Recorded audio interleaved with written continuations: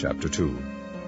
Wherefore laying aside all malice, and all guile, and hypocrisies, and envies, and all evil speakings, as newborn babes desire the sincere milk of the word, that ye may grow thereby, if so be ye have tasted that the Lord is gracious, to whom coming as unto a living stone, disallowed indeed of men, but chosen of God, and precious, ye also, as lively stones, are built up a spiritual house, and holy priesthood, to offer up spiritual sacrifices acceptable to God by Jesus Christ.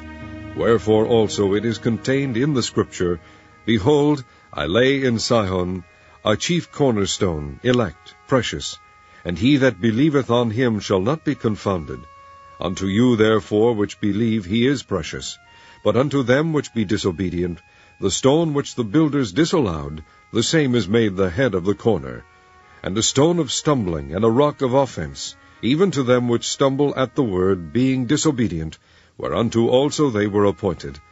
But ye are a chosen generation, a royal priesthood, and holy nation, a peculiar people, that ye should shew forth the praises of him who hath called you out of darkness into his marvelous light, which in time past were not a people, but are now the people of God, which had not obtained mercy, but now have obtained mercy. Dearly beloved, I beseech you as strangers and pilgrims, abstain from fleshly lusts, which war against the soul, having your conversation honest among the Gentiles, that whereas they speak against you as evildoers, they may, by your good works, which they shall behold, glorify God in the day of visitation.